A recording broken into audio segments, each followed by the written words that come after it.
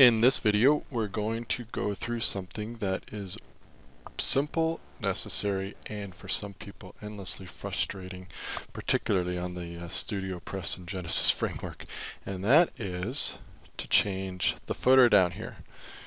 Okay, perhaps you want to get rid of this Genesis framework and WordPress stuff. Uh, that's what I'll show you. It's really simple.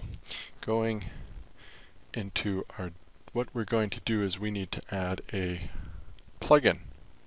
It's a free plugin. It's by StudioPress. It's called the Simple Hooks. Genesis Simple Hooks. Here we go.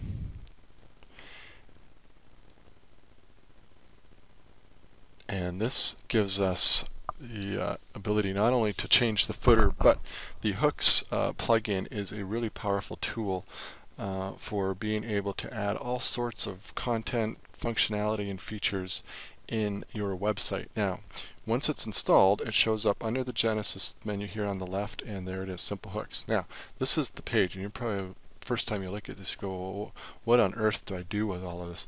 It goes on and on and on and on and on. If you look carefully, it'll show this is a hook executes immediately before the closing head tag. This hook execute, what it is, is it provides little boxes where you can put code, uh, which includes content, images, uh, functions, um, email subscriber sign up, uh, boxes, the whole nine yards, anywhere within the WordPress website. So if you want to create a little ad or a notice or something that shows up above every single page and blog post, you could do that. And I'm not going to go through every single one of these uh, hook boxes to show you where you can do what. We'll do the footer uh, as an example here.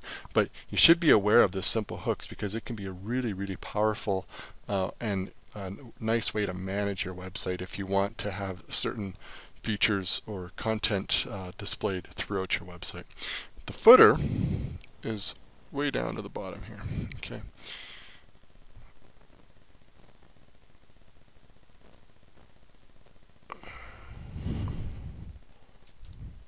Here it is. Sometimes it takes me a little bit to find this. Genesis footer hook right there. What you want to do is you need to unhook the Genesis do footer. What that does is it pulls it unhooks the default information that's in the footer already here. So this stuff is all by default. And when you click unhook, it's going to now result in a blank footer. Now what you can do here is you can input anything you want in your footer. So you can add a contact form, a home page. Um, let's just do a home page. This will put a little homepage link at the bottom. If you want to add uh, shortcode capability in a hook, you just click this box. If you want to be able to do PHP, you click this box. Uh, we're not doing either of those in here, so we can leave those unclicked. Scroll down, save our changes, and let's take a look at the footer.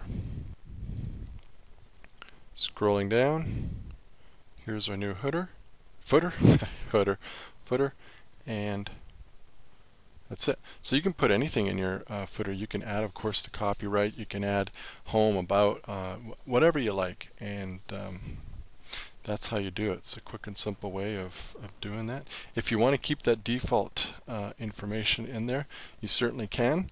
Um, I usually take it out.